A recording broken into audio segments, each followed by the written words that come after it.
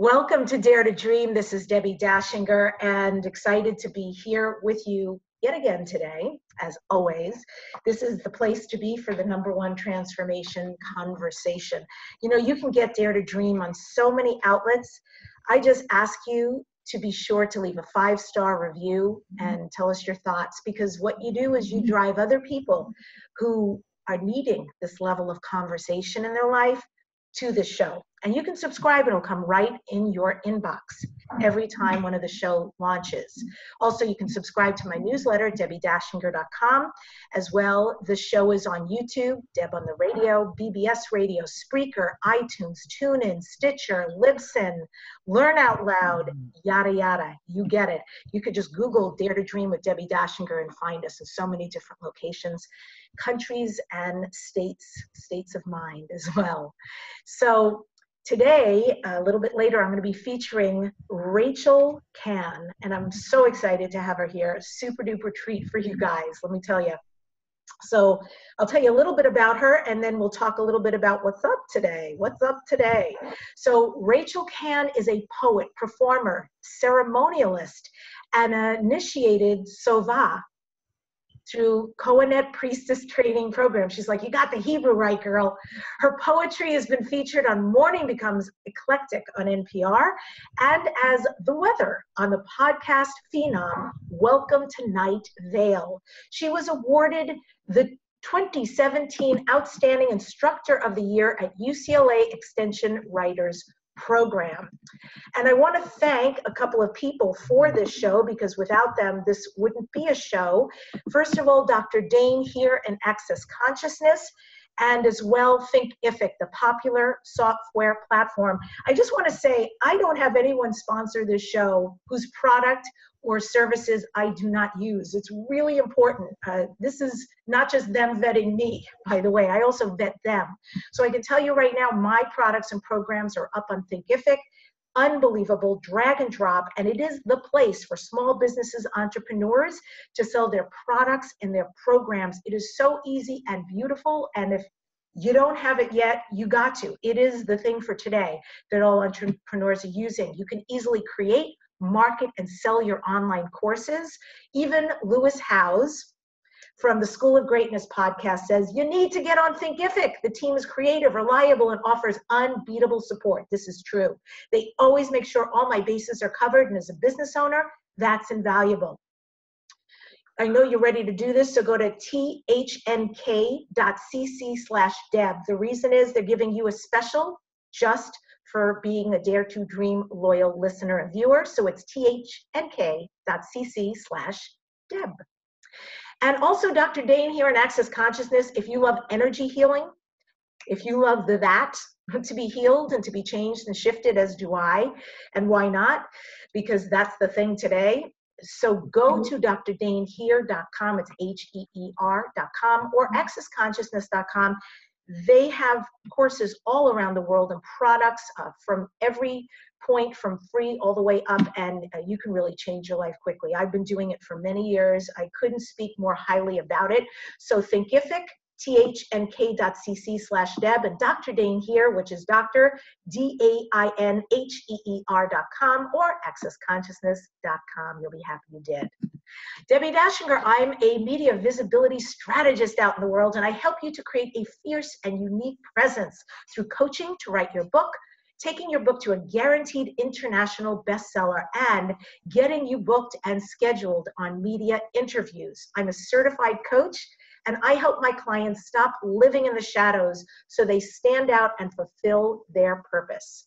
I offer a visibility strategy session as an introduction to show you all the places and spaces you're missing right now that you could be shining your light and you don't know. Super easy. So you can sign up, just go to dare to dream radio at gmail.com for your visibility strategy session. So the today, you know, um, I've been going a lot to Agape. I found out they moved right near me. They're out of Culver City and they're walking distance, a 10, 15 minute walk from me. Agape, Dr. Reverend Michael Bernard Beckwith, who's been on the show many times. And I just love, I love being there. It's like the most beautiful way to start a day in the morning, meditation, and then these beautiful services. So this was a lot of the conversation I just want to share because I was taking notes like crazy when um, Michael was speaking, and it just really resonated with me, and I wanted to share it with you. And here's the message: holding on, letting go. So what is beyond holding on? Coming out of your comfort zone? Everything. Everything is there. So you are invited to the unprecedented. Are you available? available for more love, peace, joy, prosperity. Here's the truth God has not failed you yet. Or what I've been calling God, Goddess goodness, has not failed you yet. So, what is after holding on? It is the beyond, which is everything. Life is a celebration. It is happening all around you the children, the birds, the photos, the air, your animals. And if you can let go, the darkness will fade. So, what I'm asking you to do is to surrender. Surrender and let go of the tip of the iceberg.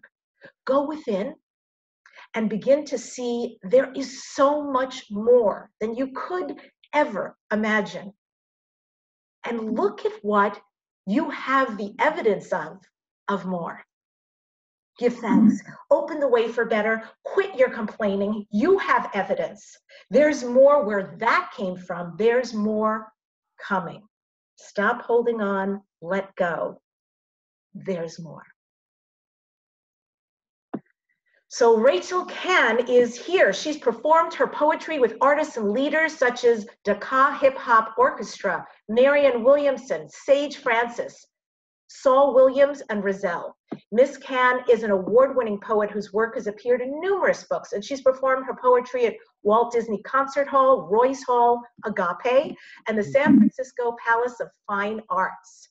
Her accolades include the James Kirkwood Fiction Awards, Writer's Digest Short Story Awards for the Camera Film Festival and Landlocked Film Festival, LA Weekly Awards, Backstage West Garland Awards Critic Picks, and both the Audio and Video Award for the International Slam Idol. You can find her at rachelkann.com. Rachel, welcome to Dare to Dream. It's so awesome to have you here. Hi, Debbi. I'm so glad to be here. Thank you so much for having me.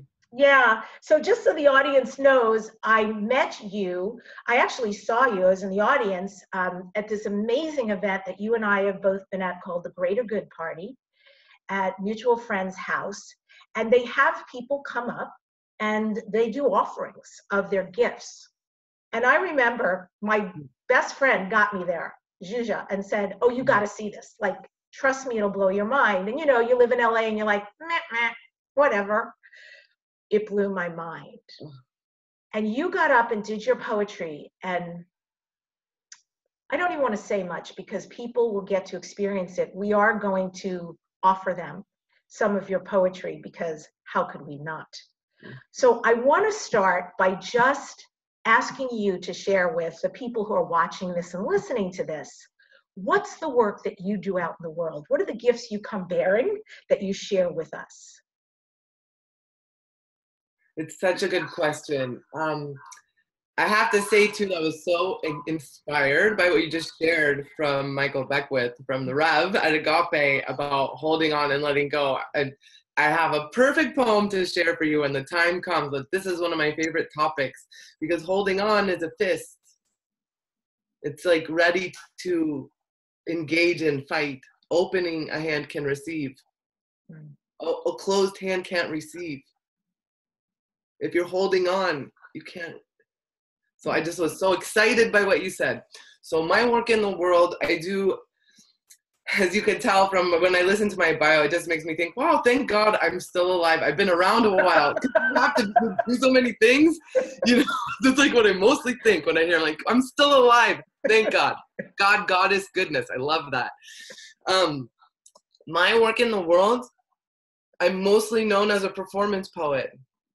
But as you mentioned, I do ceremonial work. I also lead dance experiences, I lead meditations, and I lead I, they're Shabbat services, but they're very open. That's Sabbath for people who don't know that word. Therefore, all everything I do is inclusive and for all people, except sometimes I do women only event, which is anyone female identifying, for when we need a safe space sometimes. But really, I really like to keep things very, very inclusive. To me, that's the revolution. Mm-hmm. So uh, in all these different places, whether I'm on stage doing a poem, or I'm working in a ritual setting, or I'm doing a Zumba class I'm teaching, or I'm leading a meditation, or I'm leading Shabbat, or I'm doing one on one healing work, which is another thing I do, it's always the same thing. My work is to call people to their authenticity, remove blocks, clean and clear trauma. Hmm if I can help people clean and clear their trauma, you know, because I'm really just there to help. So stepping into authenticity and removing the things that block us from being ourselves. Tell me about, I have a couple of questions based on that. Shabbat, the inclusive Shabbat, where is that? What does that look like? Thank you for asking. So uh, different things, but one of the main temples that I'm working with that is like really my family. It's called Mishkon Tephilo. It's in Venice, California. So it's it's like a, a, very old conservative temple right on Main Street, just like a little bit east of Rose for people who know what I'm talking about, but basically right where Santa Monica and Venice meet. And so once a month right now with my community there, um, Rabbi Gabriel Botnick, who's the rabbi of Mishkan, his amazing wife, Rose, who's about to get ordained, and my beloved co creators, Rabbi Aviva Funky and her husband Yosef Funky, and Brock Pollock, the musician. We've created a Shabbat service called Naor, which means light now, bring the light now. Mm. And what, what we're trying to do is create authentic spiritual experiences. I grew up with no religion. Really? My parents are, yeah, very atheist, intellectual, in a very positive way. Like they did not bring, they did not um, introduce dogma into my life on any level. They were, it was very important to them that the intellect was honored. I'm saying past tense. They're alive and kicking and wonderful. I'm just talking about that. Um, you know, my childhood for my mother, it was very much about not exposing her daughters or her son to patriarchal models. Mm-hmm. She had no interest in putting us in a religious setting where women were kept separate or you know anything like that and you know I'm hard pressed to find a religion that's not patriarchal, to be honest. I struggle with this stuff in Judaism all the time and it's everywhere. It's not just Judaism, God knows. It's Christianity. It's it's everywhere. You you think you can get away from it. And like, oh, and like especially in the West, like we kind of sometimes can have this little bubble we're in of our, you know, kind of, oh, this is this beautiful practice, this exotic practice from elsewhere, whatever we might be grabbing, but oh, it's so you go there and you go experience like oh oftentimes it's patriarchal just like just like the same old story we heard before mm. so just to kind of qualify like this is something i wrestle with still with my judaism but Naor is once a month it is an evening and morning service it's very rare that they're on the same weekend mm. but this week which i think this i don't know when this gets posted but this friday which is January 11th, when I don't know when this tomorrow will be our Naor. It's once a month. And then Saturday morning will be the morning service.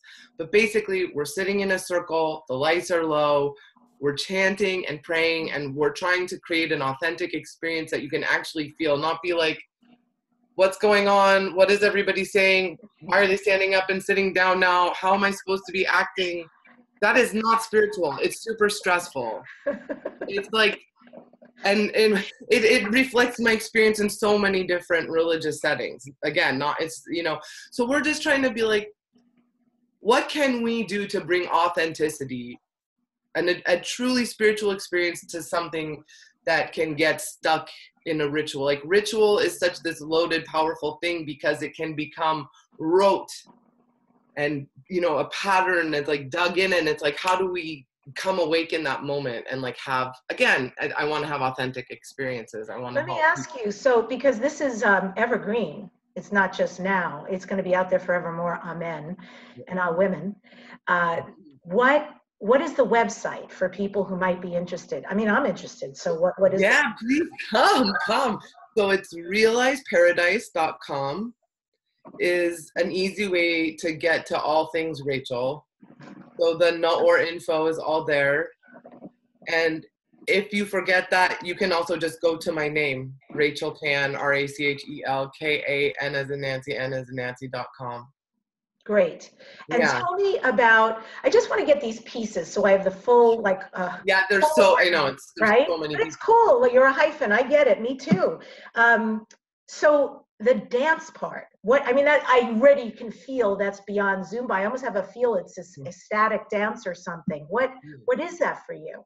Well okay so the super nutshell version is dance was my first language. Mm. i started dancing at three like training and um i also had very compromised hearing. I was almost completely deaf from a series of ear infections until i was five and a minor surgery corrected it. So I really do feel that dance was my first language. Mm. You know, I get and it. So I grew up in a small town do, with a very small kind of dance world. There was no like modern dance class or contemporary dance. I didn't like that wasn't a thing I was aware of when I was young. Really, I knew it was like I knew about Martha Graham and Agnes DeMille and like that there was cool classic stuff like that, but there was no classes around. It was very like ballet, jazz, tap, recital studio. So I got very serious in the ballet track, mm. you know, and um, studied like Russian ballet very seriously. Like would go to New York in the summers as a teenager, and you know, study all summer, and you know, eventually was like my big aha moment. I just wrote a piece about it. Um, I'll share that stuff too. I'm writing this these new little columns called Inspiratuals they're just little teeny short bursts of inspiration. They're super. Again, just contact me if you're wondering where they are. Maybe if you Google inspirational pop up, but anyone can reach out to me. But I just wrote about this. So I was like very serious Russian ballet student, and I was like 17, and I'm at the the peak of my career. You know, my dance journey of Russian ballet, and this was like you know, I was like a solo in the snow dance in Nutcracker, a, a, a, solo in Waltz of the Flowers, you know, all the things. This was not Sugar Plum Fairy, but you know. and so I saw a video. I'm still in high school, you know, I, and I saw a video after the performance of, I was like watching a scene from Waltz of the Flowers, and I was really like in the zone. I mean, I'm I'm dancing at my best. I'm like it's great. I'm anorexic. I'm sick. I'm like olive green. Uh, what could be better? You know what I mean? It's just really prime. So, but I mean, really, I'm dancing my best. And I look at myself, I'm watching the video, a normal, well, normally abnormal 17 year old, insecure, strange, awkward, all the things. And I'm watching the video and like, shook, some moment of clarity clicked in where I could separate from all my egoic BS and whatever and like really clinically kind of watch this video and I was like, okay, this is this is obviously outside guidance because I was not smart enough, you know, but I was watching the video I'm like, okay, there you are dancing at your very best, like your peak Russian ballet best. I looked like a goofball. Like I'm just kind of a goofy person. I mean, just my face, my body, but like certain people have, you get it. Goofiness is part of their, you know, whole. I also have deeply serious and all the things, but goofy's in there. I just could not really see a place for that, for all of me in Russian ballet. I could not be my full self. I couldn't be in the zone, in the flow, in my peak, and it be okay. I could see it. It was goofy looking. And I was like, you know what? I'm not gonna put my. I could. I was like, I can. This is me in five years, probably on coke, still anorexic, like trying to be do anything to stay skinny, still anorexic, in a wheelchair maybe by 35 or 40 if I keep doing this to my body. For what? Like maybe I could get myself in a corps de ballet where they'd always be like, stop sticking out, stop being so you. And I was like, you know what? I want a bagel. I'm hungry. And that was it. yeah. Like whole fat. Not light. All of it. Maybe some salmon. and capers. I don't know. Let's be crazy. This is Pearl, by the way, people steer. Hi, so, Pearl. So you know, thank God, you know, I'm saying there's all that clarity, but I, I was starting to see that. And thank God also a place I was studying in New York in the summers was the Glusky Ballet, and they were connected to a, a program called American Theater Dance Workshop that was working on kind of keeping um, great Broadway choreography alive by mm. actually making sure people knew it, not just that it was recorded somewhere, and mm. teaching people this is the original Jerome Robbins dance from West Side Story. Mm. This is the original Oklahoma, you know, Agnes DeMille, Many a New Day, you know, all that kind of stuff. And so they kind of, I think, could see my inner goofball was not going to have the best run of it in ballet. And so they were very encouraging like saying, we think you really have a knack for musical theater dance rather than you kind of suck at ballet. Who knows how kind and gentle they were being? Like it was, they, they gently. So, anyway, I got into musical, it changed my life. I got into musical theater. I began dancing very seriously. I became very seriously involved with theater. And as that started to happen, just like we kind of talked about the patriarchy can be so exhausting. And a lot of musicals just i wasn't interested but like i started to find really juicy plays that were not music related. Plus i was terrified of singing which must might come up later. So i could dance and be the dance core and even sometimes it'd be like uh, let's put her in the tenor section or maybe you could like mouth it. Like it was bad you know? So then i started doing just regular plays. They called straight plays, but I hate that term. Just not a musical, a play without music. Then I got really into that. Then about 10 years go by and then I'm getting kind of fat. It's time to start exercising. I haven't ex- I stopped dancing and never exercised. So I'm using the term fat, but I, I wasn't that who cares what size I was, I was out of shape. I wasn't using my body at all. I just stopped. When I stopped dancing, I stopped worrying about it. And it caught up to me so I started working out. I just went to the local YMCA and started taking classes and I just worked out every day and it was that's when I started really understanding energy and trauma and how we can hold on to things that that might not add up according to science and math because I was working out so hard every single day, changed my diet. It took a year before the weight started to come off. Whoa. A year. like people and uh, yeah like even my friends would be like feel like be like kind of feel bad you know because they knew how hard i was working and they would see there was no change like maybe you get tested all, there was nothing wrong with me and just I, I think it's just we protect ourselves in different ways you know and we yeah. can 100%. use soul soul packing peanuts you know to to and so it just took a long time before things released. And so finally things started to rearrange in my body metabolically. And one of my teachers again i was so blessed to be encouraged by somebody. She was like you need to be teaching fitness. And i was like i am not a fitness per- like what are you talking about? And she was like i need you to teach fitness. Like i need for you to do it. I want you to be my sub when i can't teach. Like i want you to teach. And she just her name is Ashley Marriott, and she just was a very. I'm so blessed to have had people in my life who encouraged me to to do things I could not see for myself. Think if I had held on to ballet, I'd be dead. I'm telling you, as God is my witness, I bet I'd be dead, but right now. But I didn't even know who I would be.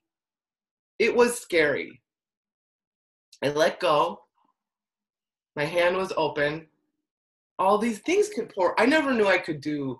I never thought about talking on stage. Oh God! So let, let me go there because this is this is amazing. I and I what I love about this story is it's what I teach uh, from stage. It's what I teach clients.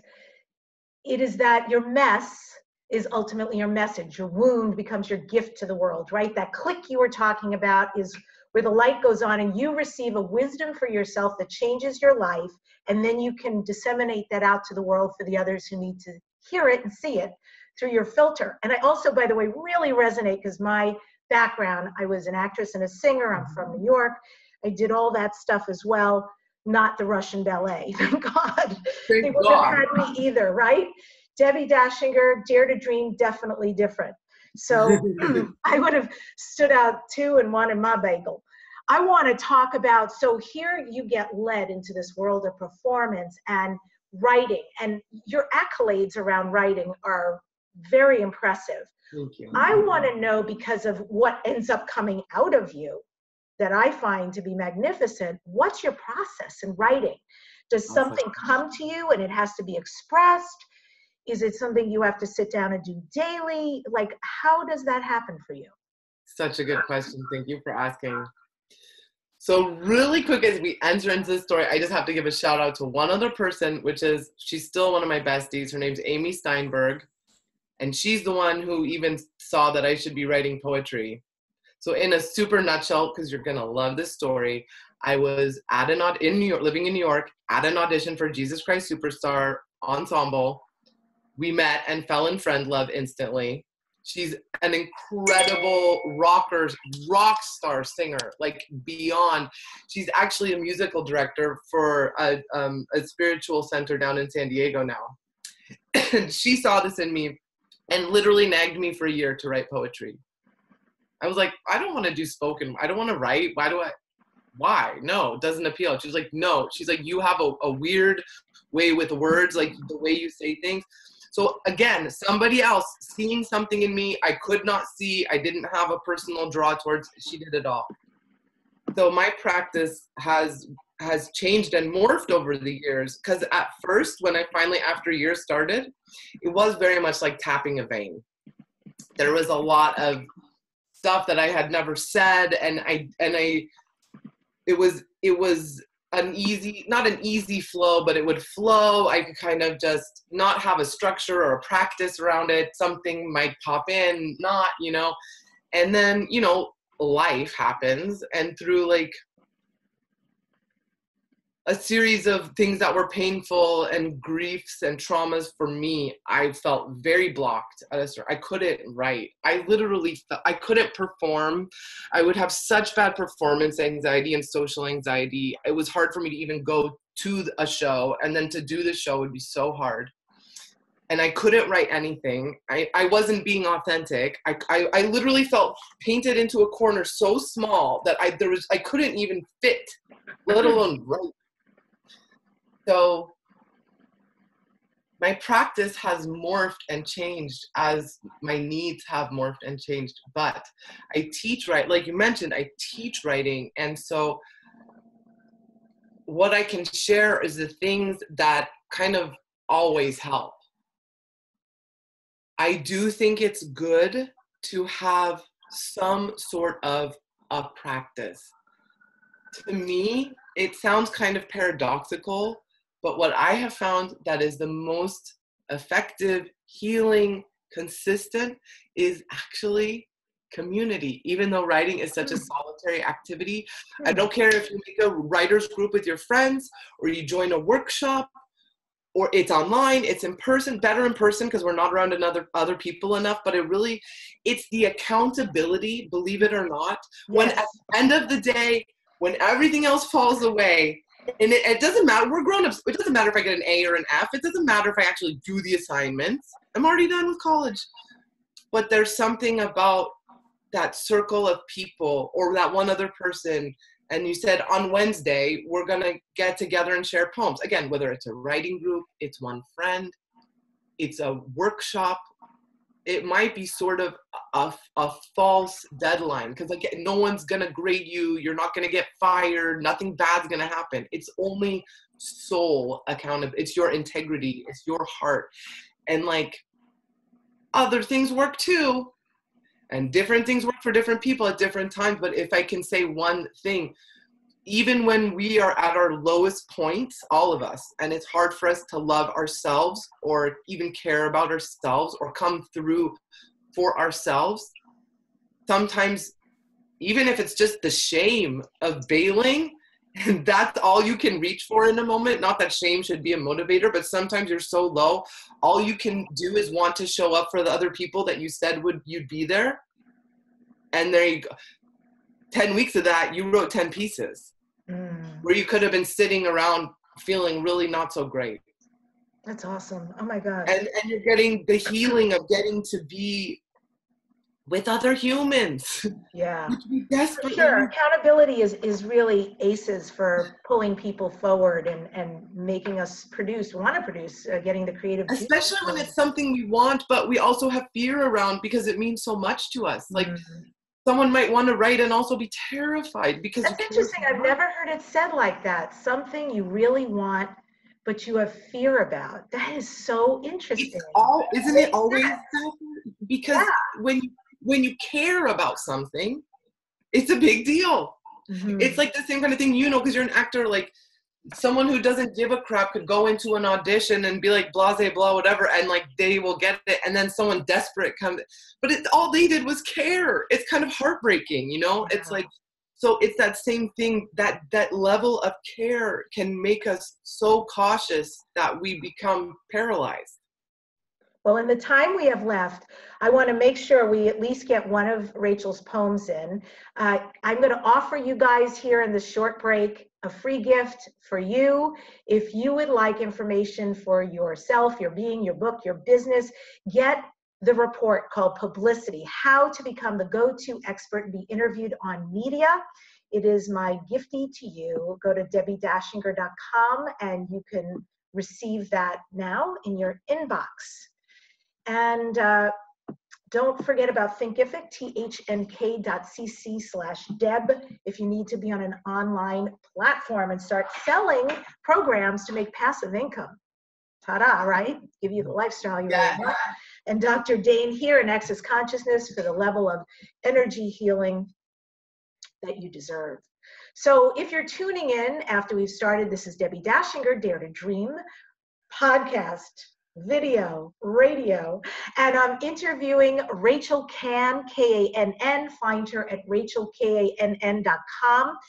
And uh, yeah, I want to start here, Rachel, uh, and I want to be really mindful of time because this is so important that people, I feel like it's such a gift. So if you would choose a poem to share with us, I would be delighted.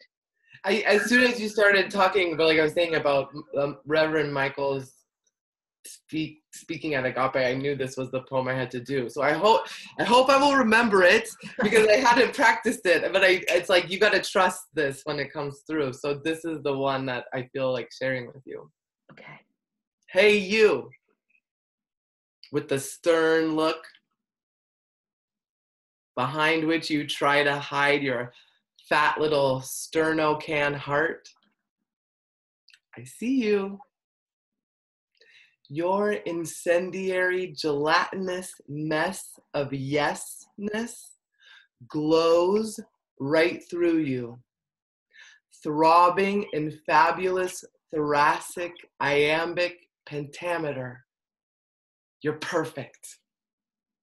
It's simply resistance that precipitates this inner turbulence. Loosen your grip on what is and let in the quantum eternal existence. Let the expired empire tumble.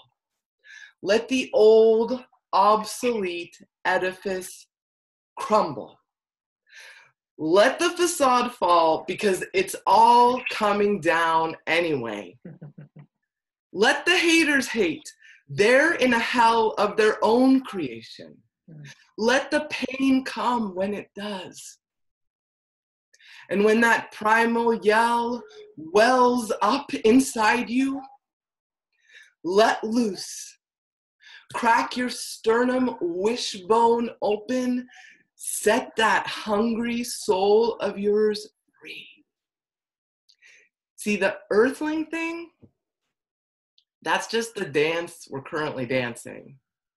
And even when you can get that intellectually, it's the owning it in our wishbone souls part that gets us all edgy. We came to move forward through the wind as it whistles past us. We came to feel the sandpaper tongues of kittens on our wrists. We came to kiss. We came to listen to Otis Redding. We came for the forgetting and the remembering and the forgetting and the remembering and the forgetting and the remembering. We came to get down. The tree drops its pomegranate and it slams to the earth, splits open. Holy abundance of seeds. Each seed brimming with tree. Each tree teeming with pomegranate. Each pomegranate, infinite potential. Life spiraling Milky Way in all of its infinite wisdom, knowledge falling like wonder, glory, thunderbolts, spilling with the filling of destiny like rain. And round we go again. Mm.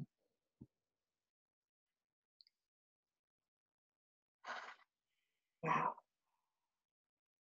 That feels like being in magic. Thank you. Thank you so much. How do you memorize those? I've thought that when I, have heard you do longer ones, and I've sat back and went, all right, I've done monologues, I've done whole shows, but this woman is like poems coming out of her. How do you memorize those? And this is like my most popular question, and the answer is it's hard. it's hard work. The thing is that's that people often like, "What's a trick? Can you teach me a trick?" And it's like, no. It's uh, a muscle, isn't it? Down, like, we put a USB and we plug it in. Yeah, it's the ro- work. It's the actual hard work that forms the grooves in your brain so you can remember it. Yeah, I totally. However, I want to share something I just read this morning in a New York Times article that just came out, I think today, which is that drawing things, they now have like the scientific proof, like this new study, that drawing things helps you remember them no matter what, no matter who you are, no matter what kind of thinker you are. And there's this um, you can read the article again if someone's really curious and they can't email me i'll send it to you um, but but there's this technique i don't personally use it but i'll share this since you asked and for your readers i mean viewers and listeners um, that this idea you might know this from acting i just learned it recently and it was in the article too that if you if you in your mind go from place to place inside the piece you will remember it. So, like, if I was working on memorizing that poem I just did, and I said, okay, I'm gonna do this in my childhood home because that's a space I know inside and out. So, in my in my mind, in the first part of the poem, say the first ten lines, I'm in the kitchen, and then I walk to my old bedroom, and then so and somebody had just told me about this technique and it they were talking about it in the article about drawing that it's very true because you're just incorporating all the different parts of your brain. And when you add a spatial element i guess like drawing and visualizing things in space that it locks things in your memory. So there's a tip for your your peeps. All i do is just like I read it over and over. I say it over and over. When I'm walking Pearl, the poodle you guys saw before, I do the poem over and over. And so it keep, that's another way to keep yourself honest. If I hate something I'm saying over and over, I'm going to change it. I'm going to be like, this isn't, it's a good kind of BS monitor on yourself. There's something, uh, there's a quote from your book called A Prayer on Behalf of the Broken Heart. And the quote is Your very being is a map of eternity. What do you mean by that? How is our being a map of eternity? Thank you so much for asking me about this. No one has ever asked me about mm-hmm. that. That is Torah, hmm. which is, you know, what a lot of people call the Old Testament. We don't think of it as the old version and there's a new book. We just call it the Torah, same book. so, one of, I'm very interested in, I'm sure you'll be shocked to know the mystical elements of things, right? So, many people who are listening and watching have probably heard of the idea of the tree of life. Right. And so, without going into a whole thing about it, super, super nutshell, the tree of life is energy centers called sefirot. It's very reductive and not perfectly correct to say this, but it's somewhat comparable to chakras. Just so I know a lot of people are more familiar, so they know what I'm talking about. But so they instead of going just in a straight line, there they'll be like one here and then two and then one. It's a whole thing. Again, if people are interested, contact me. But the tree of life and these energy centers are a map of the universe and the map of one human. So when I'm saying your very being is a map, I'm literally eh, giving over the teachings of some of my ancient rabbis, my ancient teachers this specific teaching of the tree of life being a map of the human comes from a teacher named the Arizal is one of the names he's known as his name is Rabbi Isaac Luria. So like a lot of people are familiar with Zohar as like the mystical part of Kabbalah. I have them in my house. So that is one kind of Kabbalah. And the word Kabbalah just means not just, and again, again I'm kind of reducing, but to receive receiving of wisdom. Again, you got to open your hands. It's all related to this. It's like receiving.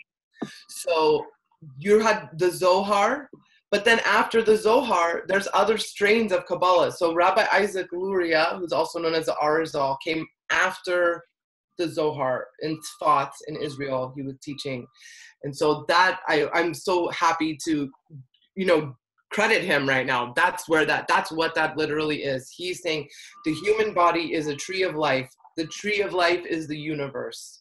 So that it's basically holographic.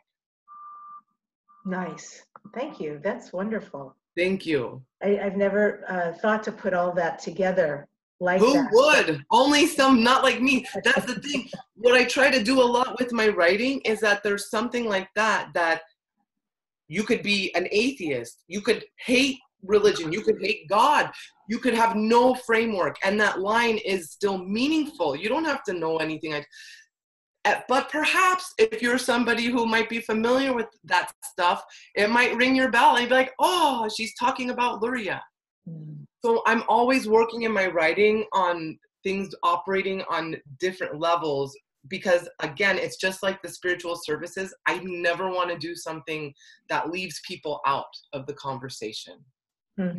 bring them in how beautiful yeah, so i could say there you know you are the Etz Chaim, you are Sefirot of the universe and flatline you know what i mean so i'm saying it in a way that i'm often i'm interested in code i'm interested in code switching i'm interested in allusion and illusion, allusion with an A and illusion with an I. I'm interested in how my most important thing in life, like we were saying, I need to connect with other people. So cool. words are one of the bridges we use.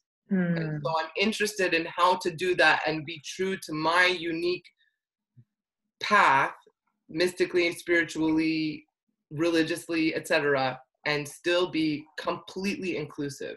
I know it's possible without going general and vague because then you just have elevator music. This is another thing, like it, it's very paradoxical. People can feel like, oh, I want to write something or create something that's very universal so that everyone can relate to it. And they end up doing something general. It's paradoxical that the specific becomes the universal. Like I could um, read a story about you know i don't know uh, a little girl so let's make it a little boy even something totally different for me a little boy who's growing up in vietnam you know and is buddhist and i can totally relate and understand but when we're creating something ourselves we have this feeling like we have to make sure and but what you do then is you just create something general that is bland and no one actually is super moved by it. They're just not offended either. I was like, That's why John Irving is one of my favorite authors. I mean, he writes people like with quirks and personalities so detailed. They're, for me, completely real yeah. and unique. Uh, I find him fascinating. I, I, don't know what it's like to live in his head, yeah. what it's like to be one of his fans and readers. And I love stuff like that, that pulls you in because the specific creates a world. Yeah. Without the specific, you just have like uh, modern art, you know, splashes of paint yeah. on the wall. And you, for me, I can't really connect. Yeah. But as soon as you get really zoomed in and a lot of details, it, it becomes so rich and palatable and a world that you can step into too. Mm. So I, I love that. And and by the way, that also makes me think that's us too, right? the more uh, with with the teaching of what you do around authenticity and being different and embracing that and all of that and making that a celebration is really the more specific you are about this is who I am like fully embodied you know no apologies. Yeah. I um my hashtag i'm on a i don't know if you guys know what marco polo is but i have it's it's so fun. Marco polo is this app and it's videos and you can create a group. It's totally private. Nobody can see it but whomever is in the group. And i've got two other beautiful women and myself and we have the very deeply spiritual but also you know growing and changing and we've been doing these videos like every day we get on and leave each other videos and they're everything from hilarious to you know sometimes there's tears to like really pulling back the curtain to something we found out or working on but it's a lot of support and Mm. I said, this is the year of hashtags. So this is the year of hashtag me first. Mm. I have been so good as an empath, as a clairsentient, as someone who really understands others' needs and the sensitivity of the world to really be there for people. And what that has done is, you know, naturally it's lovely to be a giver, but it's also caused me to show up in some situations considering somebody else before my own needs, which means that I've gotten sacrificed. I've chosen to self sacrifice right. at some level. And that's not a choice anymore that I'm willing to step into. So, this is my hashtag of love this year and also me first. I can't have the love without the me first. And so, it's really about what do I want? What do I need? What does this definitely different being want to experience and do and be and put out in the world? And who do I want to be with? And where do, what does that look like? And I am like 100% in that journey, okay. which is about discovering and sometimes being called out when I go off course. But um, yeah, I'm just thinking about everything you said about the soul and that even in the context of being authentic, how important that is to embody all of that. You're saying such powerful things that I also am an empath and I'm also clairsentient. So um, I totally get what you're saying. And sometimes when you've been so thinking about other people, you have to figure out what it is you even want or like. Like you said, what do I want to do? What do I like? What what is my preference? Because we've been like, oh no, like you choose, it's fine, you choose, you know. And so it's like getting back in touch with yourself. But the thing is, what's so fascinating about it is that and we all know this as soon as i say it you'll be like i, I know because when when we are around people who are not being authentic we know it but we don't know why mm. because that's their private reason. It's very unnerving. So it's like we're like saying oh i want to be myself but i don't want to make other people uncomfortable. But guess what? Not being yourself is making them more uncomfortable and distrustful. Because I know when I'm around someone who's not being authentic, I'm my heart is open because I'm like, there's probably a, a very like sensitive, wounded reason for this that is not dark and nefarious or trying to trick me or do something, but it might be that. I just don't know. I can't. We know it. It's like you can't quite tell why someone's not being their self with you, and so you're like, it's hard to trust and know. So it's actually it's so exhausting to try to be someone you're not it's like it's or just kind of you know do all that and when we're little when we're children it can feel and be sometimes a matter of life or death but now we're grown-ups if somebody can't accept who we are, it's going to be okay. It might be painful. It doesn't mean going around being selfish and rude and stomping on. This has nothing to do with it because you know what? That's not your authentic self. Your authentic self doesn't want to go stomp all over people and hurt people. So when you say me first, me first is not me first, you second. It's all of us me first. It's out. It's it's without me. There is, no right. Exactly. Yeah, I know. I'm telling. I know you get. I'm like telling you, but I know you And, get. It. Like you know, also to your point, you mentioned earlier that you used to have social anxiety, and uh, used to. I still have it all the time. me too, Rachel. By the Oh, way, I don't have I don't have the social anxiety anymore. But even though I I know I'm built to be on stage, I know it. I do it. it's part of who I am. It's part of what my soul came here to do. I still have Mishigas come up. It's like mm-hmm. whatever.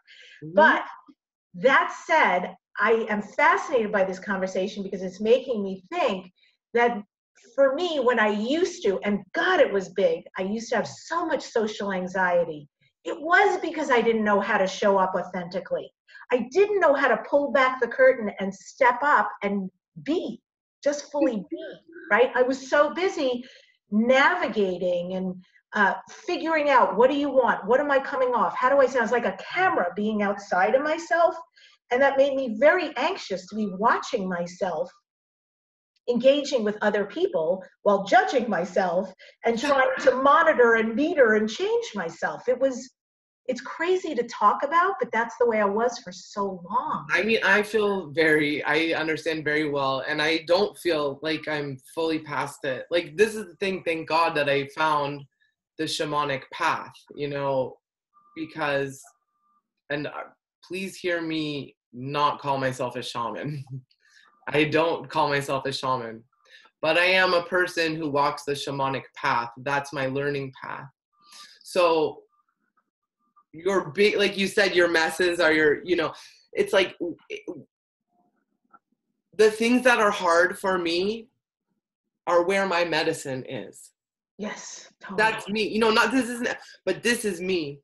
So god i hope one day i never have social anxiety again but uh it's definitely not like i was saying like that, that at that point i literally like couldn't I, I could have social anxiety in a room by myself. It wasn't even just anxiety like i couldn't stand being around myself. I, I was literally into a corner. I couldn't breathe you know? But i still have i still feel awkward all the time. Like you know i, I just sometimes feel just like I- like very awkward in this human body and just kind of navigating in the flesh suit and i feel very large. I don't mean like i'm heavy or skinny. It's nothing like that. I just kind of feel big and like a bull in a china shop a lot. And this kind of like you know and, and and the thing is you know we we do say things that unintentionally trigger someone or piss them off or all the time.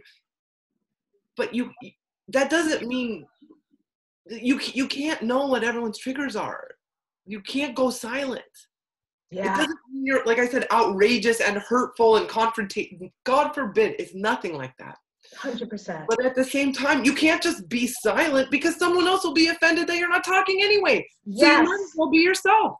and that's a big part of the me first that i started last year was you know like i attract for me the most amazing clients for me it's just oh, like i adore these people and i had a client last year can honestly say did not adore like really had some problems and was uh, putting stuff in my space that was you know patient patient patient patient and i got to the place was like i am either going to hurt myself trying to constantly accommodate this incredibly neurotic human, or I'm going to speak my piece. And I opted to speak my piece, knowing full well I had to detach from the outcome. This person could leave me as a client, Yeah.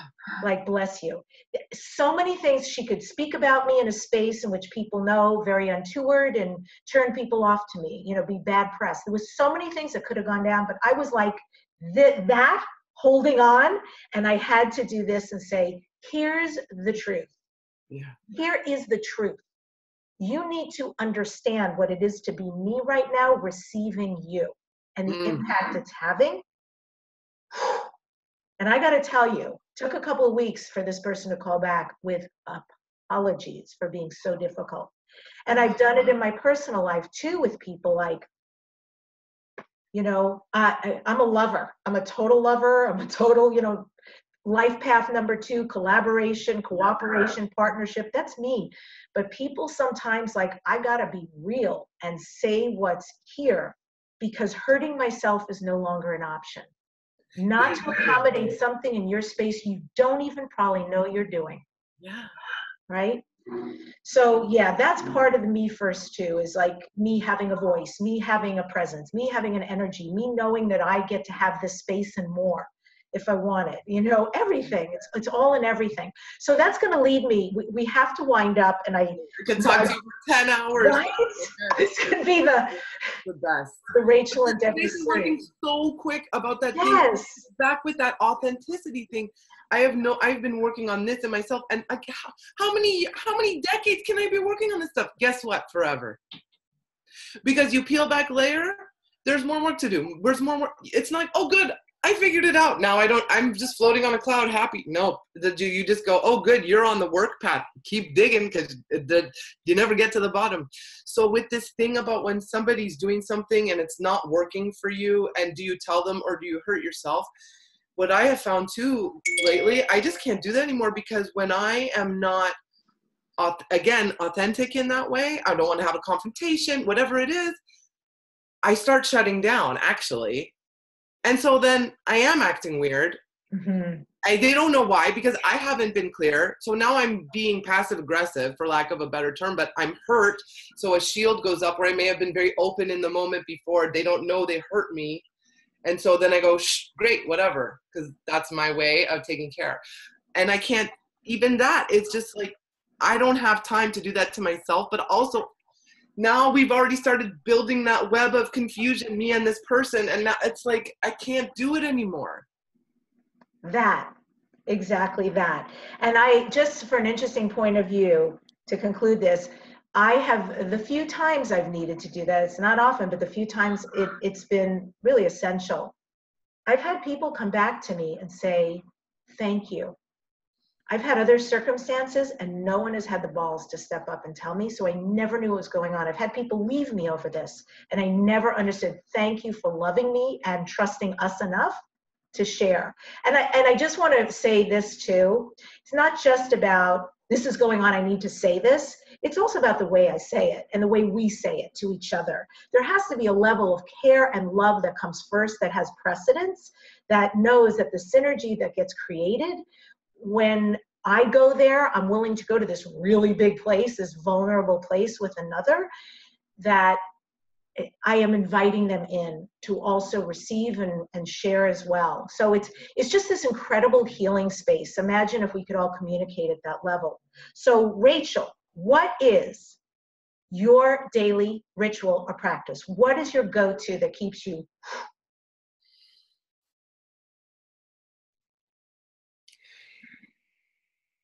I do meditate every single day, even if it's only a few minutes. I still really need to do that. Cool. And this and, is there. Oh, sorry. There's more. Even if everything else falls away, hmm. even if it's just 60 seconds sometimes, because I can't even stand to be in my head very long. and I tell them, I'm too busy. I don't know that. You know, all this stuff we tell ourselves. This is Dare to Dream. What do you next dare to dream? My dream for this year is that I will be truly seen and known on a level that um, is launched so that concerns about money, stability, like basic needs are not prohibitive to me mm-hmm. feeling okay or being creatively abundant and getting my art out to the world. So, to be very specific, if it's okay, I'm gonna just hold up my kids' book. I would like to be on more shows talking to people like you and just getting the word out and like sharing my light with people that would, would reach a critical mass so that I could have momentum to feel safe in my day to day life. And go to her website, by the way, because you'll see uh, things like her book and oils and other things that she's into that are possible. Um, so I'm going to do something a little interesting. I'm going to close us out, and then I'm going to have Rachel close us out with a poem because I got to hear another one. Uh, yeah, so here's how I'm going to close this out. I'm going to close us out also with a quote from an excerpt of the Ballad of Odd Lily by Rachel Kann. this is so perfect, right? There are no accidents. We are gathered here today as the village of oddballs, the tribe of glorious monsters. We are the fat souled inhabitants of this fabulous planet. We do not fit the constraints of the tiny minded. There is no more time for self diminishment to alleviate the discomfort of others. We sing full throated and laugh loudly. We are not threatened by human moonbeams shining their respective light. In fact, we'd ignite it for them. We delight in it. We thrive in it. Me, personally, this oddball, I'd rather be in gathering. This just might be go time. Dearly beloved, we are reunited and it feels so good. and who knew our conversation like hallelujah that is so perfect right? Hallelujah. I mean that like that was so good debbi. You made have tears in my eyes. I loved hearing you say that so much. I'm so grateful to you for bringing my poems to me like i know i don't think about that poem you know i don't sit and think about my poem so it's like you give me such a gift when you reflect i get to hear my words in your beautiful presentation mm. Anytime, sister, anytime. I mean that. that was a, a joy to say those words, meaningful. And in the next weeks on Dare to Dream, I am featuring Anna Raimondi. Do you know her? My God, she's a medium from beyond. She's been on People magazine, all sorts of stuff. You got to check her out. And Vicky Gay. These are amazing, powerful women and voices. You want to tune in to hear this number one transformation conversation in the coming weeks on Dare to Dream with Debbi Dachinger. Just remember the inspirational YouTube video is youtube.com slash Deb on the radio and get your free publicity report, how to become the go-to expert. Be interviewed on media now. Go to debbidachinger.com. And finally, the online platform to sell your programs, make passive income, thnk.cc slash Deb. Share this radio show, video show, this link with your friends, and thanks for joining on Dare to Dream. And Rachel, my darling, would you please take us out with one of your It will be my great honor. And because you mentioned it, I'm going to do the love letter to your branches and roots, the tree poem. It's a love letter. Know this. You are wonderful wild. Do not deny it. Contort akimbo. Reach your glorious limbs skyward. No more mourning your inc- exclusion from the orchard. You were never meant to be regimented. Thank heaven. The predatory parasites who hijacked your canopy, clawing toward your inner sugar, have all been evicted. They could never truly penetrate, never claw to the center of you. They tried to prune your shine, you bloomed through it. Their attempts to graft you proved fruitless. They carved their tags into your trunk, underestimated your fortitude.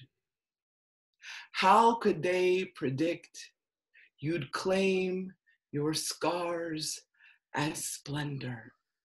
Your roots go deeper than you ever imagined. You are steadfast and untamable.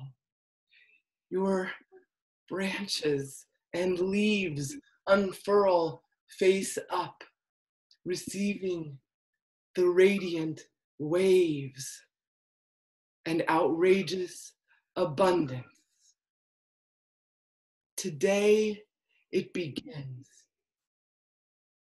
Awaken under cover of cold snap. Your glow is a holy permission slip. Your very being is a map of eternity. You are steadfast and untamable. Know this. To dance, you must let the wind whip your branches. To sing, permit the breeze to whistle through you. You are inviolable, fairly spilling with potential. Come to blossom. Come to fruit.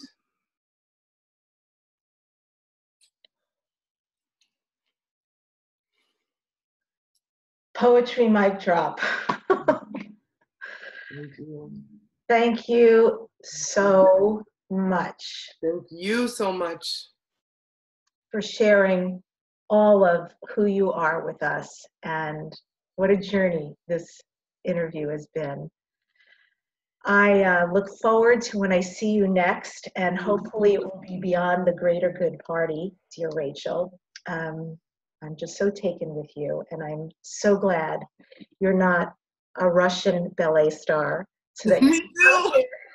And gift us with this this depth and wisdom and beauty that you share. So thank you so much. Thank you so, so much too. I'm so receiving you and so grateful for your message and your light. And I truly am just reflecting you to yourself. So if you're taken with me, you're taken with you.